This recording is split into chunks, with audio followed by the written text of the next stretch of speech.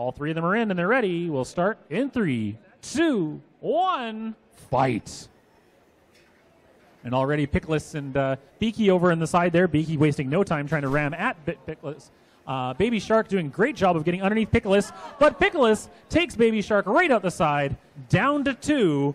Still going. There can only be one as Picolas does a great job of grabbing Beaky and putting him into the red hazard.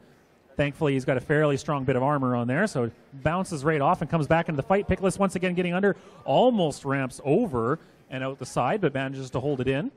Uh, Beaky now getting underneath him and successfully, surprisingly, using that beak in order to lift Picolas off the ground. Picolas upside down, controls backwards, almost goes out the side, flips himself back over again at the wall.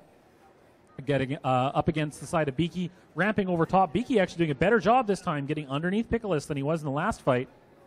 But Picolas able to get his way out of there by flipping himself over and above the robot. Now upside down, hitting hard off the red hazard flung over into the red corner. Beaky trying to chase him down before he can self right, but he does. Now into a bit of a pushing match as Picolas, every time he changes direction forward, backward, you can see the whole front end flips up. Kind of a bit of a risk for him, but might actually work to his advantage at times. There we go, underneath the bottom. Almost manages to get to the blue push out, but veering slightly, unable to maintain it.